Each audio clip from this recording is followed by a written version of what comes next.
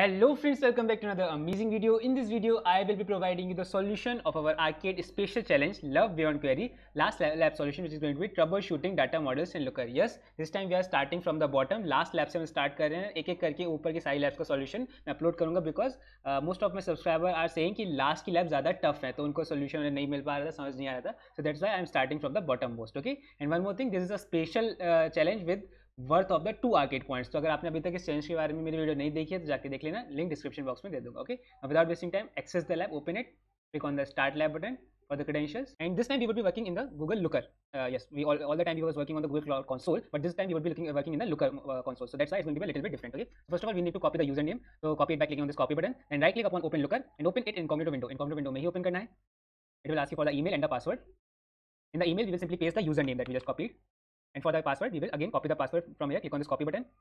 Come back to here. Paste the password here and click on the login button and we get logged into the looker console okay? Wait for a couple of seconds to get loaded. And first of all we need to activate the development mode. So for that we need to click on this button. Click on it and wait for the page to be loaded. Once this mode is enabled we will start working.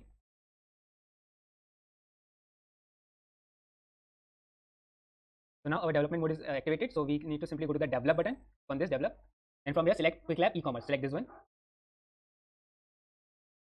wait for it to get load.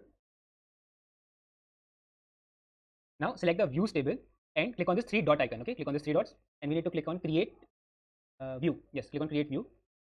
And for the file name you need to simply come back to the lab and go to the description of the video and in the description you will find the link of this github file. Of course, github file ka link in the description box mein mil jayega you have to access this because this contains all the necessary code which is required to complete the lab okay? First of all you need to copy the first one. So click on this copy button to copy it. Come back to the lab here. And paste the file name that you just copied. And click on create button. It will create a new file for us and automatically that file would be loaded for us. Now here come back to that file again github file and copy the second step 2 code by clicking on this copy button. Copy it. Come back to here select all given here and remove it. And now paste the new code that we just copied then click on save changes. Once the changes are saved we need to simply go to the users. And uh, here we would remove whole code. And again come back to the github file scroll down a little bit and copy this whole step 3 by clicking on this copy button. Come back to here paste it here and click on save changes again now we need to make one more changes for that. Click on this models tab and click on training e-commerce.model again select this whole command remove this come back to the file scroll down to step number 4 copy it it's from the step number 4 come back to here paste it here click on save changes. Now once the changes are saved we need to click on validate lookml it will validate it. Click on commit changes and push. And for the commit message simply type being notified. And click on commit. Then click on deploy to production once you are done with this your uh, most of the tasks are completed. Now we can come back to the lab. Scroll down to the task number one. You don't need to submit these answers. You don't need to give the answer for the mcq simply scroll down and look for the check my progress button here. You need to click on this button and you will get the green tick here. Wait for a couple of seconds. You can see assessment is completed. Scroll down. Just skip these. Keep scrolling. Click on this check my progress and you will get the green tick here as well. Don't worry if it takes a little bit time. Our assessment is completed. Scroll down to task number three. Keep scrolling keep scrolling you need to go come to here this is the last task we need to do so first of all you need to copy this uh, name you have to click, create a new look so click on this copy this whole command make sure you should not copy any extra full stop at the end जो last में full stop given है ना ये आपको copy नहीं करना है जो last में full stop given है okay otherwise it will throw error okay now come back to the lab again that uh, looker tab click on this navigation icon click on back button and click on explore and from here you will select order items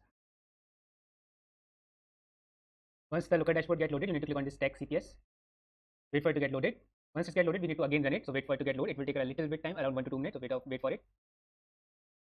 So once it's loaded you need to simply click on the run button okay? Once it's get loaded the data get loaded you need to click on the run button. It will again start it to load the data. We have to wait for one minute again. The, lab, the lab is easy. The whole process took a little bit time. So now our data is loaded. So you need to click on this gear icon from here. Click on save. Click on as a look. And paste the title that we just copied from the lab and click on save button. Now scroll down a little bit. Keep scrolling on this table. And let me check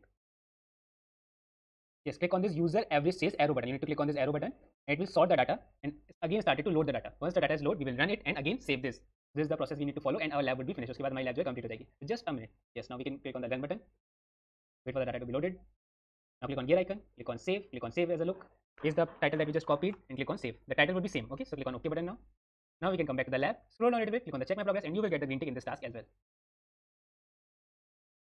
wait for a little bit of time well let's retry Don't worry if you are not receiving the check my progress uh, green tick in this button because there is one thing we missed that is you have to set the range to 10 as well so come back to here click on this click on uh, in the row limit we set it to 10 click on run button Now it will load the data accordingly. Just uh, we are done. We just click on the run button. Then from the settings, you have to save it as a look. Again, copy this title, copy it very carefully. Come back to this model, click on run. Uh, not the run, click on gear icon, click on save, click on as a look, paste the title, click on save button, click on OK. Now it should give the green tick to us, right?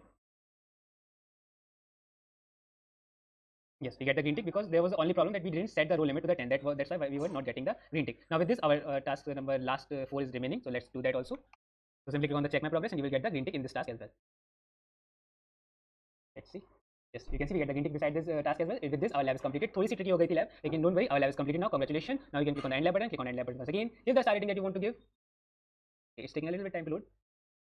Hit the star rating, click on submit button and come back to main page to verify whether we actually get the green tick in the lab or not. Main page पे आके check करेंगे हमें lab में green tick मिला या नहीं. So scroll down a little bit, open the module, scroll down and you will see that we get the green tick beside our lab. It means we successfully completed this lab. So if you like the video, make sure to hit the like button, hit the subscribe button. If you have any query, you can ask me in the comment box or on the WhatsApp group. Thank you very much. Good. Bye.